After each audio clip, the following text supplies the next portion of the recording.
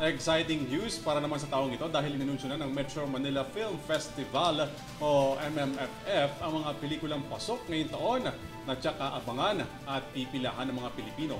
Mula kasi sa dating walong entry na mga pelikula, sampu na ang maglalaban-laban.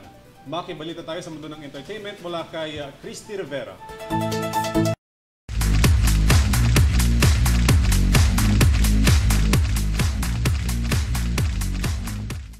Dumako naman tayo sa mundo ng entertainment para sa balitang showbiz. Sugod na sa mga sinihan kasama ang buong pamilya dahil inanunsyo na ng MMFF ang mga pelikulang maaari niyo mapanood sa darating na Kapaskuhan na isa sa mga naging tradisyon ng bawat pamilyang Pilipino o kahit pa ng mga magbabarkada.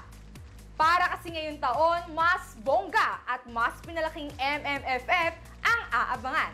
Una na ngang inanunsyo ang apat na pelikulang pasok sa MMFF, kabilang dyan ang pelikula ni Sharon Cuneta at Alden Richard na A Family of Two, A Mother and Son Story. Kampo nila Derek Ramsey at Beauty Gonzalez, penduko ni Mateo Guidicelli at rewind ng mag-asawang Marian Rivera at Dingdom Dantes. Ang When I Met You in Tokyo nila Vilma Santos Recto at Christopher De Leon. Pasok din ang comedy film na Becky and Badet, Tampok, Sinapokwang at Eugene Domingo. Isa nga rin ang pelikula ni Christian Bables na Broken Heart Strip. Ang horror movie ni Piolo Pascual na Malari pasok din sa MMFF.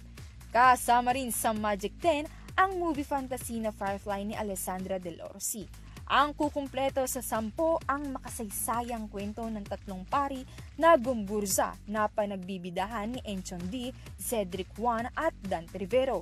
Kaya naman sampung pelikula ang mapapanood sa MMFF ngayong December.